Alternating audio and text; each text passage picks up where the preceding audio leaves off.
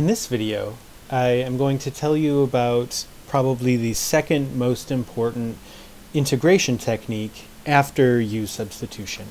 Um, this technique has kind of a weird name, uh, but it is called integration by parts.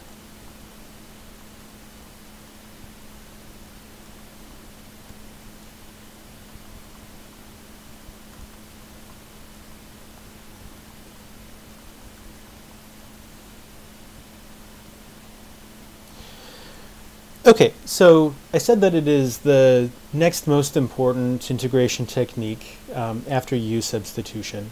So if you refer back to U substitution, um, the point of doing that technique was to undo the chain rule. And um, similarly, integration by parts is going to undo another one of the differentiation rules that you learned about, which is the product rule. So that's what we're going to learn how to do.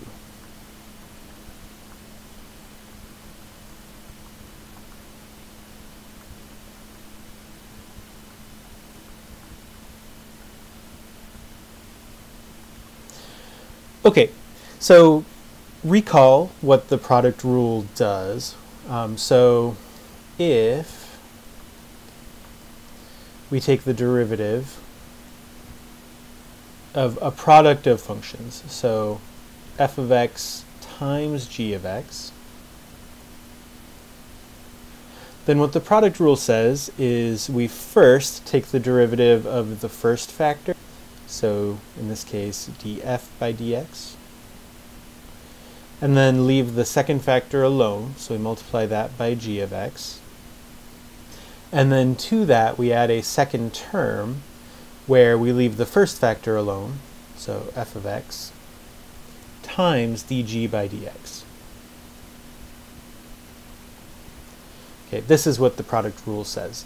Sometimes we don't bother with all of the x's, um, so in prime notation, um, you can do f times g prime equals f prime g plus f g prime.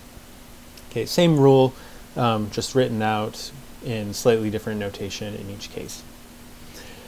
Okay, so to um, come up with how we do integration by parts, basically we're going to take this expression and we're going to integrate both sides. Okay, so if I integrate the left-hand side, I have the integral of a derivative, and so this d by dx will just go away. So on the left-hand side, I'll have f of x, g of x, after I take the integral. And on the right-hand side, I'll have the integral of each term. So integral of df by dx times g of x dx plus the integral of f of x times dg by dx dx. Okay. Now, there's one more step before we get the rule that we use for integration by parts. And that rule is that I'm going to rearrange this um, algebraically.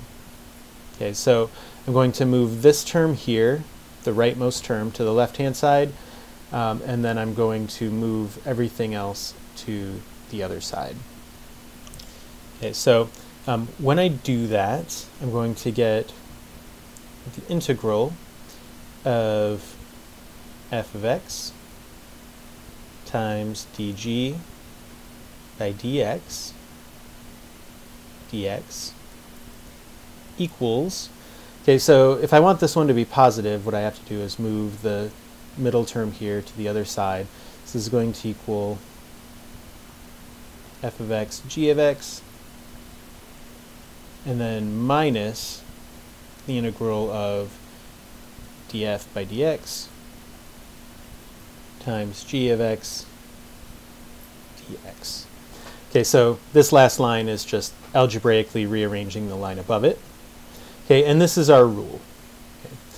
Um, now, because this rule, as it's currently written, is a little bit clunky, we often write this in a slightly different way that's easier to remember. Okay, so if you notice, we have dg by dx dx. And so we could actually write this a little more simply. Um, and so the rule that I memorized and that I think most people memorize is the following.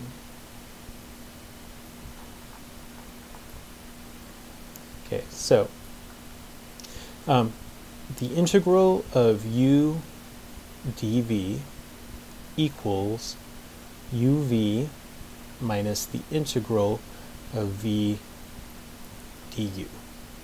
Okay, so the connection between this um, line with f's and g's and the one with u's and v's is that f of x is u and dg becomes dv and then f and g are u and v and uh, here we have df by dx and a dx, so that is all du, and g becomes v.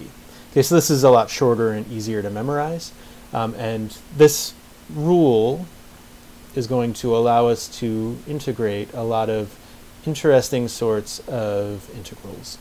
Okay, so in the next video, I'll show you some examples of how this works.